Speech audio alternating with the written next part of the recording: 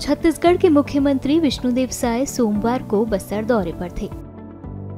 बस्तर दौरे के बाद सीएम रात में अचानक जवानों से मुलाकात करने के लिए सीआरपीएफ के कैंप पहुँच गए।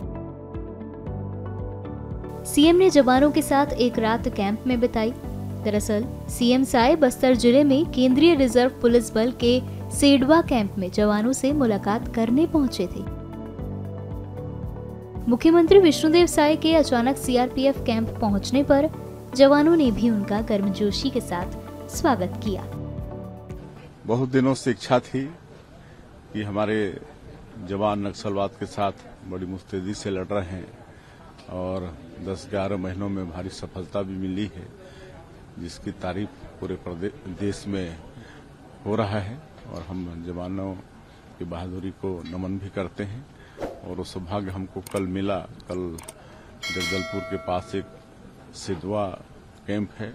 वहाँ पर हम प्राधिकरण की बैठक के बाद गए, उनसे मुलाकात किए उनके साथ भोजन भी किए। उन्होंने खुशी में सांस्कृतिक कार्यक्रम भी प्रस्तुत की और रात भी हम वहीं पर बिताए और उनसे मिलकर बड़ा अच्छा लगा। उनके साथ कई घंटे हम लोग बैठे और उनका अनुभव जो लोग ऑपरेशन में जाते हैं तो कैसे कैसे उनको कठिनाई फेस करना पड़ता है, कैसे रहना पड़ता है, कैसे नदी पार करना पड़ता है, ये सब सारा अनुभव उन्होंने शेयर किया और वास्तव में उनके बहादुरी को हम फिर से नमन करना चाहेंगे और उनके हौसले बुलंद हैं और वो लोग भी चाहते हैं कि छत्तीसगढ़ से नक्सलवाद समाप्त हो। सर कितना हौसला अफजाई होती है सर? आप जा रहे हैं मुख्यमंत्री उनके साथ बैठ रहे हैं बाहर से आते हैं वो कितनी हौसला अफजाई होती है इससे?